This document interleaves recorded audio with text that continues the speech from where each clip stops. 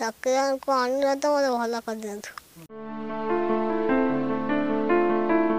କଅଁଳ ବୟସରେ ସରକାରଙ୍କୁ ଆକୁଳ ନିବେଦନ।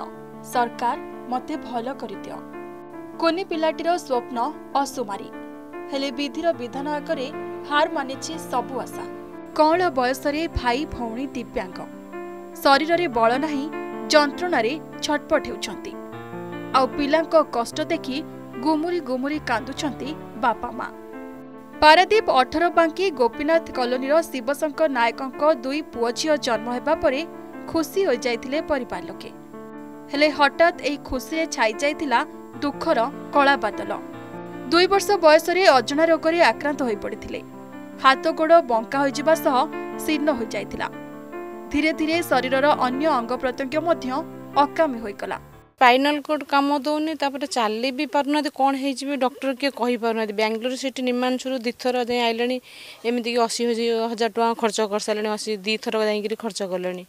ଆଉ ମୁଁ କେଉଁଠୁ ପଇସା ପତ୍ର ଆଣିବି? ବ- ଷୋହଳ ବର୍ଷ ଝିଅ ଗଲାଣି ଷୋହଳ ବର୍ଷ ହେଲାଣି ମୁଁ ବୁଲୁଛି ସବୁ ମେଡ଼ିକାଲ ସରକାରଙ୍କୁ ନିବେଦନ କରୁଛି ମୋ ପିଲାଙ୍କ ପ୍ରତି ଟିକେ ଧ୍ୟାନ ଦେଲେ ମୋତେ ଟିକେ ମୁଁ ଟିକେ ଚିରପ୍ରକୃତ ହେବି। ଯେହେତୁ ବହୁତ ହଇରାଣରେ ମୁଁ ଅଛି। ସରକାର କେତେ କେତେ ଲୋକଙ୍କୁ ସାହାଯ୍ୟ କରୁଛି ଆମେ ଦି ଦିଟା ପିଲାଙ୍କୁ ନେଇ ଆମେ ଚଳିବା ବହୁତ କଷ୍ଟ ହେଲାଣି। ବର୍ଷେ ଦୁଇ ବର୍ଷ ଭଲ ଥିଲେ ତାପରେ ଦୁଇ ବର୍ଷ ପରେ ତାଙ୍କର ଆଉ ଚଲାବୁଲା କଲେନି। ଆମେ ହଁ ଭଲ ଥିଲେ।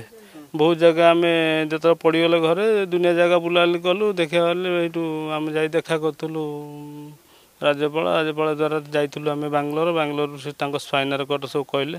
କହିଲେ ଯଦି ଭଲ ବଡ଼ ଡାକ୍ତର। ବଡ଼ ଡାକ୍ତର କିଏ ଆମେ କିଏ ପଇସା ପତ୍ର ହେଲେ ଆମେ କେଉଁଠି କ'ଣ ନେଇଯିବୁ ନା?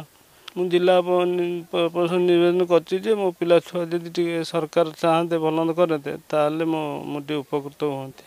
ବଡ଼ ଝିଅ ମାମୁନିକୁ ଏବେ ଚଉଦ ବର୍ଷ ଓ ପୁଅ ସାନକୁ ବାର ବର୍ଷ।